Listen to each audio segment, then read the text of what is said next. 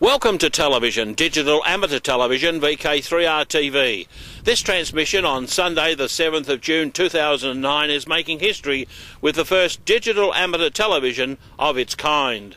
VK3RTV, licensed by Amateur Radio Victoria since 1977, is one of the world's oldest fast scan TV devices. History shows that radio amateurs in Australia had long been experimenting with various types of amateur transmission. They publicly demonstrated it before TV was introduced in Australia in 1956. The conversion of VK3R TV to digital transmission was the dream of Peter Cousins, VK3BFG, who has been the driver behind VK3R TV since its inception, and today that dream is a reality. It's important to note that digital amateur television is on air at a time when commercial and ABC TV stations are just finding their way with the new digital medium.